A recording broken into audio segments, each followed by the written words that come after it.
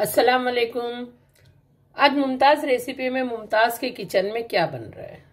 आज मैं chicken soup बनाना बता रही हूँ, बिल्कुल ढाबा स्टाइल में। इसके लिए मैंने आधा के जी या आधा किलो चिकन ली। ये इस तरीके का बोल वाला लेंगे आप तो इसका सूप ज़्यादा अच्छा बनता है। बारीक कटी हुई आप देख सकते हैं कोथमीर। है काली मिर्च का पाउडर है, ये भी हमको गार्निश के लिए लगेगा। और साबित गरम मसाला, दो इलायची है, छोटी, चार काली चार जो है तो लौंग है दो तीन छोटी सी स्टिक दालचीनी की है, आठ दस काली मिर्च है। चिकन क्यूब ली हूँ, आप देख सकते एक चिकन क्यूब दो छोटे तेज पत्ता है। मसाले चिकन सूप के लिए मैंने ली हूँ। लहसुन अदरक का पेस्ट है, आधा चम्मच। आधा चम्मच है साबित धनिया। आधा चम्मच से भी कम जीरा, आधा चम्मच से भी कम सौंफ और अजवाइन तो और आधे से भी कम है।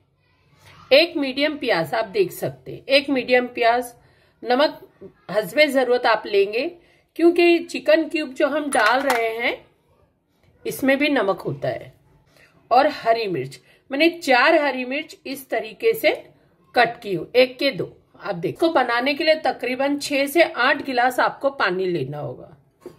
एक बर्तन में तकरीबन आठ गिलास आपने पानी डालना है।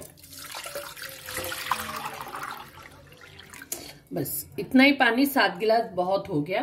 इसको हम गर्म करने के लिए रख देंगे। एक जोश आने देंगे हम इस। पानी में अच्छा जोश आ गया है। अब इसमें हम सब चिकन डाल देंगे। चिकन धोकर कभी भी ऐसी कोई चीज़ बनाए, चिकन धो के थोड़ी देर के लिए उसको साइड में रख दे।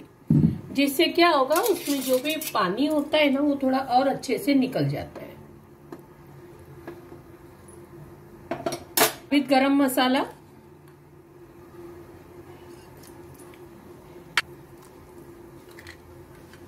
प्याज, हरी मिर्च, लहसुन अदरक का पेस्ट, धनिया, जीरा, सौंप, अजवाइन, नमक और हल्दी। ये सब चीज़ें इसमें डाल देंगे। अभी इसको हम तकरीबन 15 से 20 मिनट के लिए बिल्कुल धीमी आँच पर पकने रख देंगे।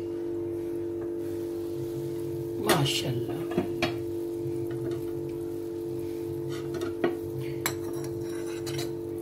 बीस मिनट हो गया है इसको पकते हुए। मैं बराबर टाइम देखकर बना रही हूँ।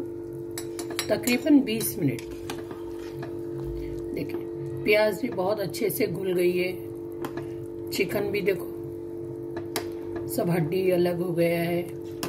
ये देखें आप।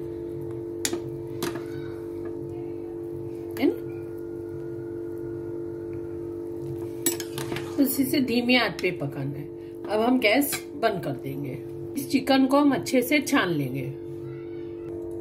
चिकन को हम छान लेंगे। बहुत ही हाथ से इस तरीके से आपने इसको हल्के हाथ से थोड़ा प्रेस कर दे ताकि और अच्छे से इसका जूस निकल जाए। अब इस सूप को हम वापस इस पतीली में डाल देंगे। फिर चिकन जो मैंने अलग प्लेट में निकाली थी इसको हम डाल देंगे संभाल कर हल्का सा ये देखे पक रहा है अब इसको हम गैस बंद कर दें। सूप तैयार है। अब जब आप किसी को इसको पेश करना हो प्रेजेंटेशन है उस वक्त आप इसमें थोड़ी सी काली मिर्च का पाउडर डाल दें। थोड़ी सी कोतमीर कोतमीर मैंने इसलिए पूरे सूप में नहीं डाली क्योंकि फिर ये काली हो जाती है। जब हम किसी को दे रहे हैं प्रेजेंटेशन उस वक्त आप थोड़ी सी कोतमीर डाल दें। माशाल्लाह हमारा चिकन यखनी सूप तैयार है। आप भी इसे बनाएँ और मुझे बताएँ आपको मेरी रेसिपी कैसी लगी। लाइक करें शेयर करें और सब्सक्राइब करना ना भूलें। कमेंट्स में लिखकर मुझे ज़रूर बताइए आपको मेरी रेसिपी कैसी लगी। अल्लाह हाफिज।